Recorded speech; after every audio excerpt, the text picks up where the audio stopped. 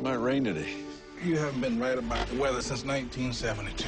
Einar and Mitch lived life by their own rules. Nice wheels, Einar. I like the flag. Without an orange flag like that, you might look ridiculous. But they never expected their time would be interrupted by someone on the run from the past. I don't want you here. I don't want to be here either. It's yours? She's yours too. Telling me I have a grandchild? Einar, please. Just till I can earn enough to get us out of here. Are those my dad's things? Yeah, they are. Where does he live now? He's dead. Did your mother tell you that? Yeah, but she said you're dead too. Now, two men unaccustomed to change I wonder if it's hard being that drunk this early in the morning.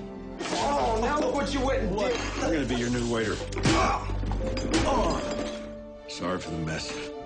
Will have to learn to adjust. I got some groceries for dinner. You got any more improvements you want to make around here? Thought maybe Mitch might want to work on something. Did you ask him about it? Of course you did. I feel inspired. and discover the only thing harder than holding on They call them accidents because it's nobody's fault. My son's dead. Your granddaughter's not, and neither are you. is letting go. I want to know what killed my boy. I killed him, Einar. Is that what you want to hear? Did you hear anything unusual last night? Somebody poking around down by the river. It's a police report. He was my boyfriend.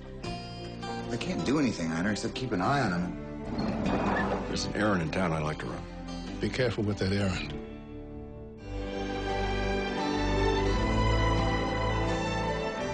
You know anything about pickup trucks? Okay, you see these screws here? Mm-hmm. There, there, there. Eh? You're getting the hang of it. I see you back here again, I'll kill you. You've seen too many westerns, old man. That doesn't exactly work in your favor. You ever wish you had lived a different life? No. There are people everywhere who think they got dealt a bad hand. An unfinished life. I had a music teacher who was a lesbian. You guys are gay, right? I always thought you had really lovely hands. You never told me that.